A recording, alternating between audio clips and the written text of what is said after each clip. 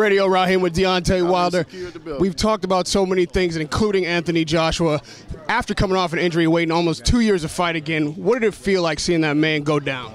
I mean, it felt great. You know, uh, like I said, it was it was it's meaningful to me because there has been there hasn't been no man that I've faced that I haven't knocked out, and that meant a lot to me. And um, I'm glad that I can do it in Brooklyn amongst these these fans here and stuff like that. So now I can move on. Now we know that there's no excuses left. The chapter of me and Stiverne is closed now officially. Give your official message to Anthony Joshua, knowing that everybody wants this fight next. What do you have to say to the champ? Short, sweet, and simple. Joshua, I'm coming. Radio Raheem with Deontay Wilder, WBC heavyweight champion of the world.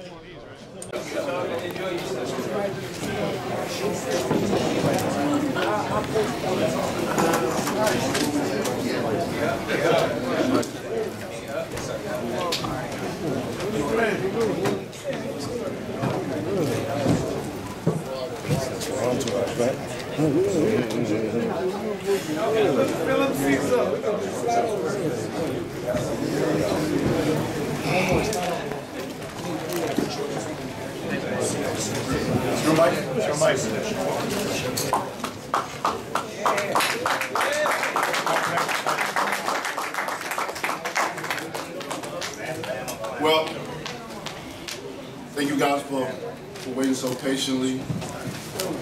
And uh, I guess we got some great news tonight. I don't have to retire. So uh, you know, it was a magical night for one, you know, back in Brooklyn. Uh, for the second time, what a great place to be, with an electrifying crowd again, to support and love. You know, being from Alabama and coming all the way over here to Brooklyn, New York, man, to seeing the love just like back home, man, it, it really touches my heart. You know, and I'm always filled with joy to come here each and every time to perform for you guys. And um, it was a magical night tonight, you know. And uh, again, I said history. It's, not a man that have fought me that I haven't knocked out. So, Facts. I'm just ready to prove that I am the best, you know. That's all I want. You know, of course, Stiverne, for some, wasn't the best. You know, some already predicted it. I said I was gonna knock them out, and I did that. And now, you know, I, over and over again, I keep sending messages out to the heavyweight division that I am the man to beat. I am the most feared. I am the, I, I, I do hit the hardest. You know, I am who I say I am. I don't speak, I don't say things just to say it because of, people have cameras in my face or people have, you know what I'm trying to say. I just want to prove that I'm the best. I want, I want to know for myself. You know, I said I believe it, and I'm receiving it. Now, I want to prove it to the world. So hopefully these heavyweights in the division see what I've done and don't get too frightened. Hope they want to feel the same way. I want to unify the division. The heavyweight division is too small to have so many champions, three and four. I mean, well, three. You know, it should be one champion, one face, one name. His name's Deontay Wilder. Any questions, guys? Deontay, Deontay, good evening. Um, Gareth Davies from the Telegraph and TalkSport. Um, we've enjoyed you being over in the UK before. Um, there's not many people here from the UK, and obviously we saw Anthony Joshua um, perhaps labour against Carlos Takam a bit last week. Can you give a message to the UK, to Anthony Joshua, about how you feel tonight after this and what we really ought to be seeing in the heavyweight division? Well, just to Joshua, you know, y'all seen many a times up on podiums, y'all have seen me on social media.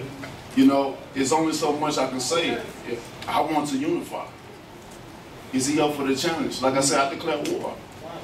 You know, this is not a battle, this is war because I want all the belts.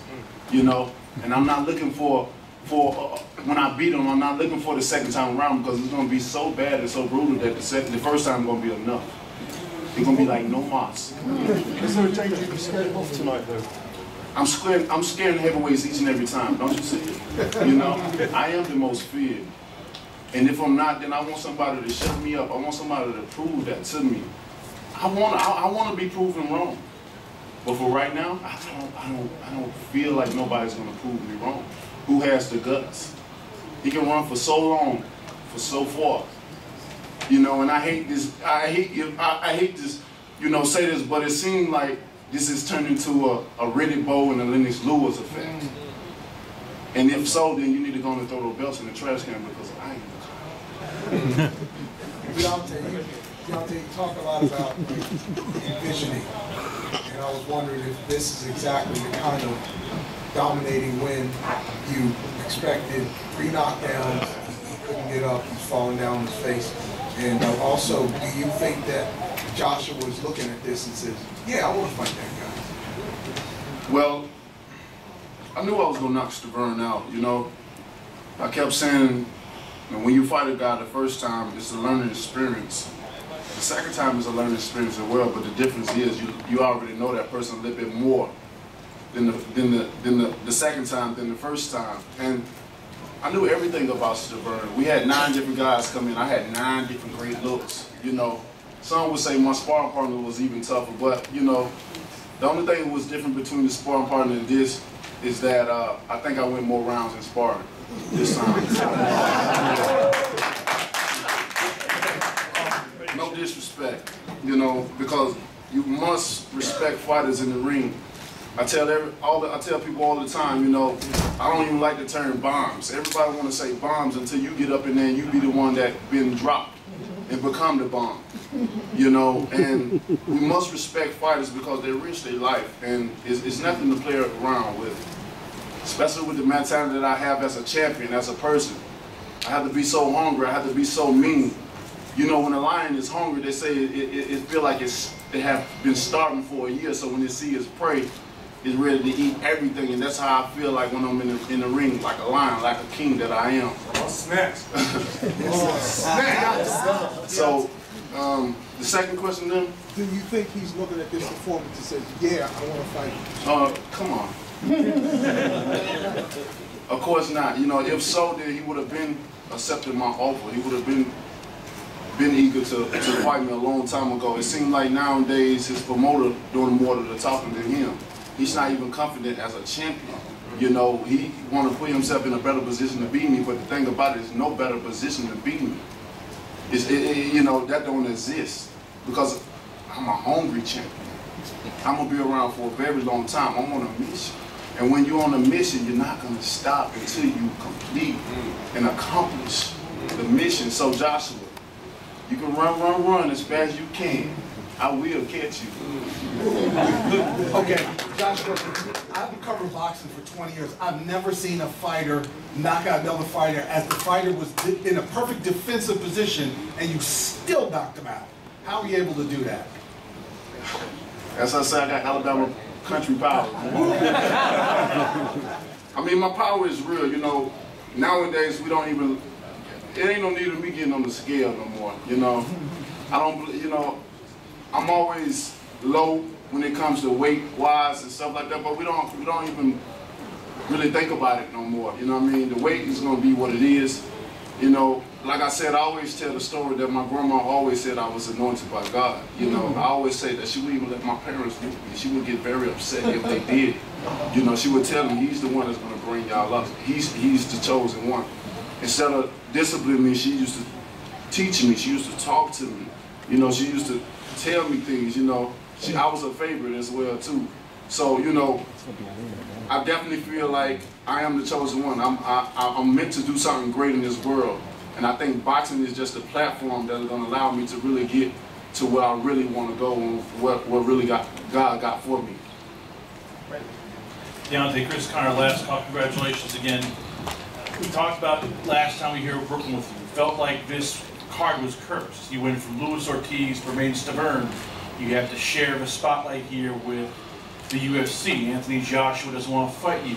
How much of this fight for you is just getting all that anger out, all the anger of being ducked, overlooked, people saying that you start this by getting guys to falsely test positive. How much of this was just taking all your anger out on Bermane Stiverne? I think it was all 100% of that. Every bit of the work, every bit of what you said. You know, it was all everything in one big snowball. You know, it was just a snowball building up, building up, building up, building up. And especially with the when the Ortiz Ortiz situation came about, man, you know, I really broke down. I had a I don't know. It, it was crazy. It took me back to my older days when I was, I mean, my younger days when I was young and when I used to huff and puff and when I cried, you knew so you better get out the way because he was going to be a Tasmanian devil.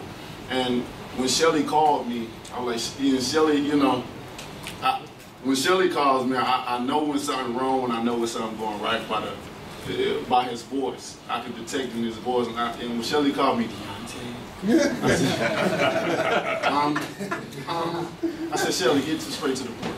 Ortiz felt the drug test. And when he did that, you know, it's just, my, my heart dropped to my stomach. And, you know, I just, I, I bust out with tears. You know, it was tears of anger because I want to prove myself so bad. Like, I never wanted to prove myself so bad. Now, not to me, but to the world, you know, because so many people blame me for so many different things that's not, don't have nothing to do with me. You know, I try to fight the best. I've called out the best. The best haven't accepted my, my, my challenge. The best always take an easier route, you know, and that's the that's the facts of Deontay Wilder. This is nothing that I'm making up. This is nothing that that I just all of a sudden just Im imagining. This is real life for me, you know, and I just want to prove myself. You know, I said it before in Showtime, it's almost as if like you want to do something so bad, like if, I, if you constipated, like you just, you know, I want to prove myself, and, and I know, I know after this, I know after this that the heat is going to be on the on the other champions. You know, definitely Joshua because that's who people want to see, and that's what I want as well too. So after this fight, you know, the, the pressure is definitely going to be on. You know, I think I've won a lot of fans, not only Americans, but UKs and people, UK fans and people all, all around the world. So that's the that's the mega fight, and that's the one I want, and uh, we will get it. I don't say hope. I, I'm not going to say if. I'm going to speak it. I believe it. I'm to receive it. Hey, Deontay. Congratulations.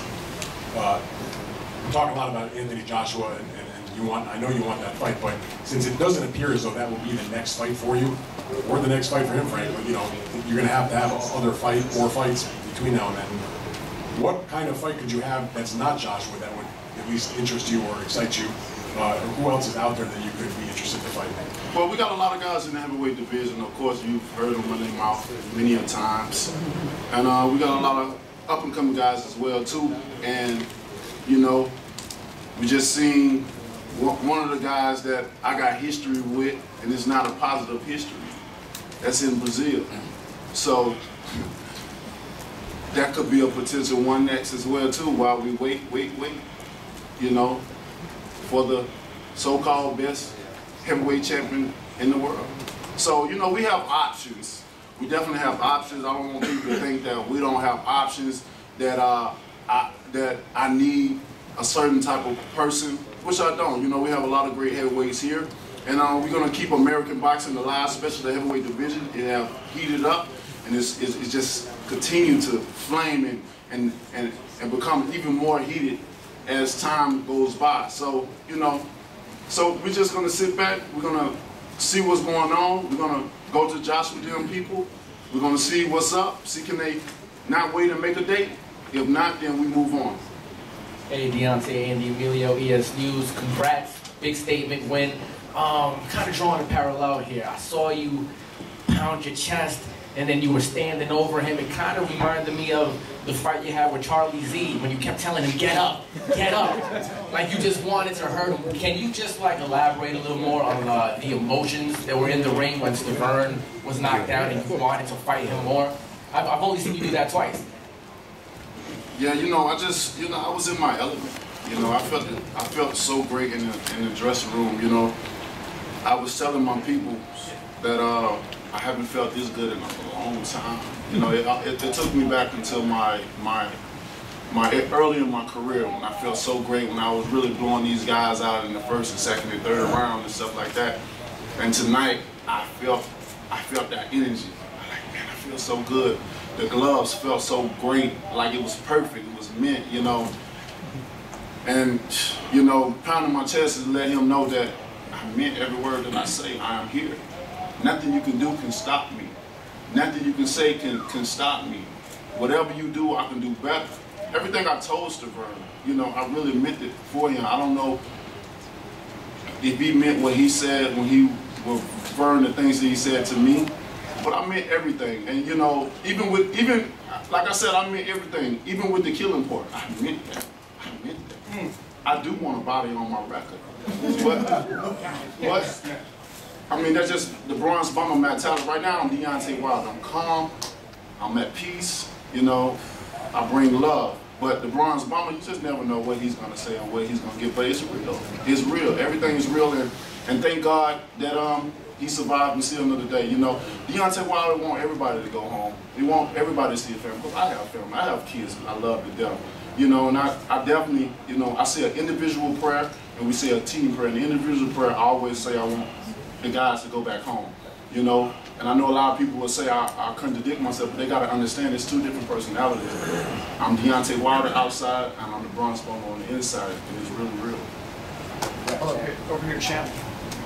Uh, I know it was only one round, but how, how did the right hand hold up? And you mentioned that glove. I know it was a new glove for you. How do you think that worked for you today? The right hand just feels great.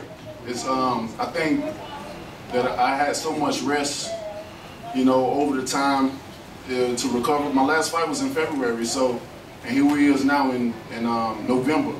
So you know, it's like a blessing in disguise that these guys are doing so much to, to delay so much of the fights or whatever because the only thing they've done was help me heal this hand and it feel amazing. But my jab hand, you know, I came with a, some good steam on that and Stiverne hand always been hard, even from the first fight. So the second fight, you know, I hurt my knuckles a little bit. It's just a little swollen, but it'll, it'll be okay. I just want to say that you're an amazing dad, and your daughter is very lucky to have you. And I just want to say, are you willing to go to the UK to fight Joshua? Because you know, numbers-wise, there's a lot more people that go over there to watch those fights, and you can make so much more money than here. Or you want him to come here? That may not be true. Well, actually, Michelle. No, no, I'm just, I'm just asking. I don't know facts-wise. I'm just going by numbers-wise. What Joshua has performed out there, 90 mil, 90,000. Put a mic in front of him. Go ahead, Dean. Please, By please by all answer. means, Shelby. Show the fingers everyone. Sorry. I mean, that's what I see. That's what I see on TV. So. No, you, what you do see on TV is more people, Uh-huh. but not necessarily more dollars. Gotcha. When you go to Vegas, if they want this fight, they can put up more than anywhere. I agree. Um, I wanted to say something else, though. About six weeks ago, and this was not public, I got a letter, an an email from Eddie Hearn. And he um, said, if you fight Dillian Whyte, we'll get you Joshua next. I couldn't get on the phone quick enough for him, and he didn't answer, and I said, what's the matter, why aren't you in? He said, please give me a day, I just lost the fight with um, Pav, um, the one that he was supposed to, Pulev. So the next day, I said to him, what's the um, deal? He said, what do you want to fight Dillian Whyte? I said, that'll be made easy. When do we get Joshua? Never called me back. Next, I've been around this game a long time. If someone wants to fight, they fight. Joshua said he wants to fight Deontay next year. Deontay just finished his mandatory. You heard what he wants to do. Joshua finished his mandatory. You haven't heard a word from him. If Joshua wants to fight, Deontay is ready. If it means the right deal to go to the UK, he'll fight him on the move. He'll go anywhere to fight him, and he said it. So there's no silence, there's no avoiding. It's up to Joshua, and if it's not, then he has his reasons not to. Dan Rafael, you just said the fight obviously won't happen next. They're gonna do something else. Why? Why can't it happen next? They literally fought one week apart. They're, neither one of them's hurt. They're exactly on the same schedule. No, I don't know it for a fact. I've just been around long enough to know it. No, and you're right. Because Anthony Joshua doesn't want to fight this man right now. Probably Eddie Hearn, but okay. Okay, I'll give you that. Eddie Hearn doesn't want Anthony Joshua to fight this The man right athletes now. want to fight each other. I don't, I don't, think he want to fight me as bad as I want to fight him. I agree with that. Yeah. You came in a little bit lighter than normal at the weigh-in. Was that game plan? No, you know, it's, it's, it's funny how my body works, you know, and in camp, I'm always heavier. I'm always like in the 230s or something like that. It's like when it's time to to come to war, you know, it's always like my weight drop. And, and I don't do, I, like, I don't take that. I don't, you know, I done tried the chefs, I done tried the nutritionists, I done tried all that stuff. And it seemed like the same effect over and over again. So I've just got comfortable with what I am. I tell people all the time that I rather be the I rather look I rather be the part than look the part. Looking the part, you know, it only gets you so far, but actually being that part, it gets you to to where where I am now. You know, so I don't really care about guys being more weight than I. You know, Didn't matter today. it don't. It, you know, it, it's never. It would never matter. Not. You know, ever. You know, because one thing about it that people can't measure, nor can they weigh, is my heart. You know, it's big. It's heavy. So when these guys fight me, they better be ready. And the last question, Luis King Ortiz was in attendance for your fight. Do you have any thoughts on that? You know, I'm not gonna even lie. When I when I when I saw him at the, at the uh, hotel coming out the elevator, I almost puked in my mouth because you know I got so much. I got so much because of. When I say I got so much, I got so much people throwing the fault at me, the blame at me, but it had nothing to do with me. Look, I was gonna pay a guy set aside money out of my pocket to fight him, to show you guys, to entertain you guys, and to prove to myself that I am the best. And what happened? I don't know, I don't care what reason that they said they came up with, you know, a lot of stuff not add up with what they say. How about just don't take nothing? You know, all of a sudden, you know, you fight this person, you fight that person, nothing come up, nothing come up. And all of a sudden, overnight, you get you get old and blood pressure pills come up. It's a masking agent and stuff. Like, come on, man. Like, you know, I would have loved to share the ring with Luis Ortiz. Just like Povetkin and all the other rest of them. I would have loved to share the ring with them, man. Looking like looking like for Povetkin, you know, I may end up sharing the ring with him as well too, because he's moving on up. But at the end of the day, man, what, what does it do to Bro. catch a Yes, sir. You ready? Listen to this, right? Since the Povetkin camp, I don't got a question, I got like a statement. Since the Povetkin camp, that's the best I've ever seen with the Povetkin camp train. When I came to train with you this time, there was so much of mindset that just was a lot more on point, your feet were everything. You really want to do bad intentions with the Burns, right? Mm. So this fight reminded me of when Tommy Hearns wanted to make a statement with Roberto Duran, mm. and he almost murked it. So you know what I wanted to say? Oh, snap! Remains the bird! You want it? You got it!